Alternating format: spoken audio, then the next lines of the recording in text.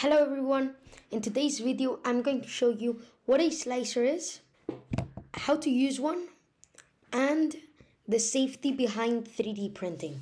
So, to get started, we're gonna log in into the our default browser, in my case Safari, because I'm using Mac, and we're gonna type in Cura. And Ultimate Maker Cura is basically what we want and we're gonna click download for free. Right now you're using Windows, you're gonna click Windows 6-bit. I'm gonna delete it because I've already have it installed and you're gonna click the one that suits your operating system. So I already have it installed so I'm gonna go in. But if you haven't had don't have it installed, you're gonna create an account and from then on you're going to follow us. But first create an account because if not, it won't let you do anything. Then what you're going to do is you're going to go into prepare and you're gonna click here in the part where it says in my case Anycubic Vyper but that's my 3D printer and you're gonna click add printer and you're gonna say add a non-network printer and you're gonna click ender 3 that's the school's 3D printer. In my case, my school's 3D printer. brand name is Creality. And then we're gonna pick our model, which is the Ender 3, Creality Ender 3. Okay, now once we have it, we're gonna delete that part because we don't have the version 2. And we're gonna click Add. Next thing you'll see is a print bed. This is called the build plate with the Ender logo. So once you have that, now we're gonna uh, we've already downloaded Cura and we've set up the printer. Now I'm to explain the basic settings that you will need to understand to be able to slice a model successfully.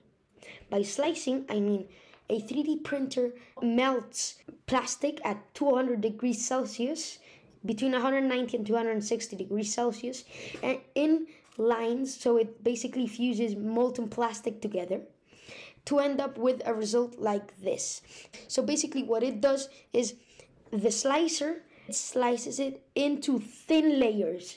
So the 3D printer understands and is able to complete lines. It's not able to do a whole shape. It does lines, but the slicer tells it how to do lines. So basically, the the greater the layer height, the less quality the model will have. On average, when you're using a 0.4 millimeter nozzle, your layer height will be 0.2.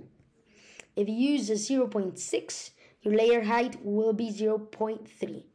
The average rule of thumb is to basically halve your nozzle size to get your standard layer height.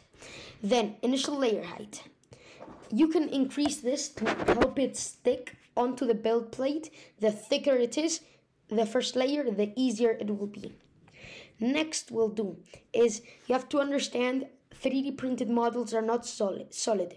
They're basically composed in the interior of perimeters and in the interior they're composed of infill. It's basically lines and a grid pattern or a different pattern to fill in the gaps. So for now, we'll not look at anything else, but we'll keep 20% infill and we'll keep it cubic. Next thing is material. We'll be printing with PLA, so the material is already set. Next thing is speed. It's already pre-configured for our printer.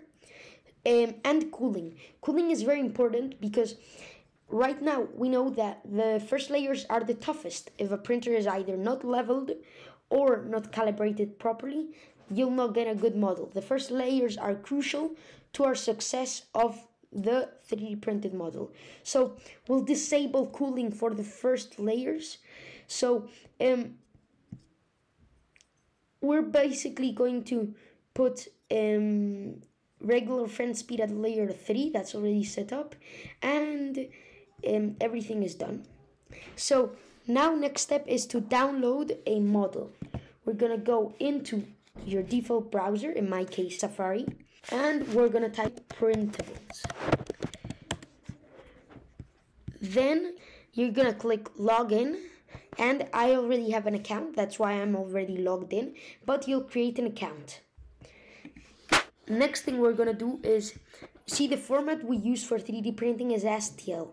So we're gonna go into 3D models and we're going to download a 3D Benchy.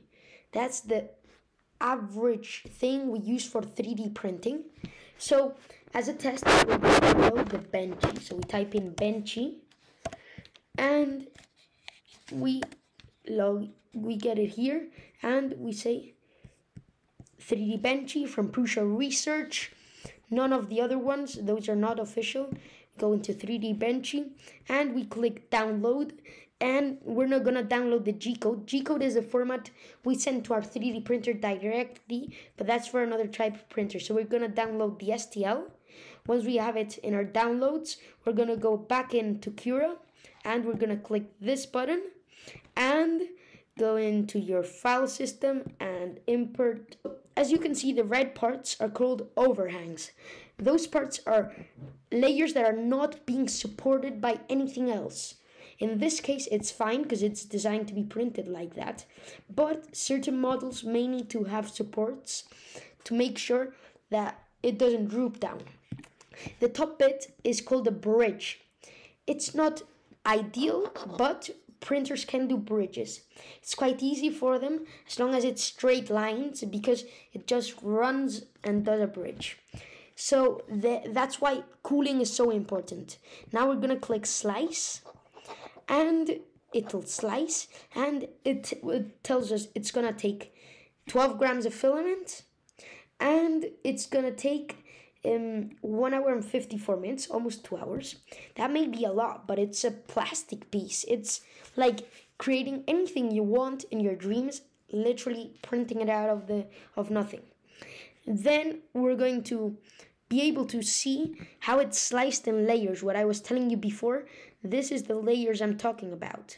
So as you can see here, we can control the layer we're seeing and um, I'm going to show you the infoliament. So as you can see, the interior of the boat is not actually solid. It looks and feels solid, but it's a grid pattern. So um, as you can see, it's sliced into individual layers, and that's what our printer will detect. Next thing we're to do is plug in an SD card and click Save to SD card.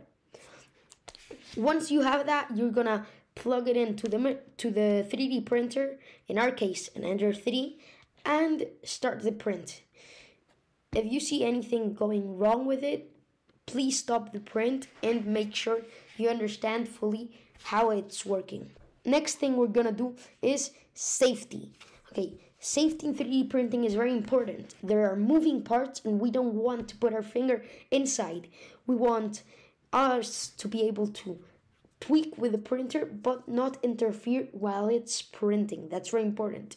Most of the time when you have to tweak something on the printer, you'll do it while it's stopped. You don't need to do it while it's on. So um, that's safety. And another thing we have to be very, very careful with it. It's not just the nozzle that's at 200 degrees. It's the whole print surface that's at 90 degrees. That will also burn. So that's all for this video and please stay safe Thanks again and see you in the next video.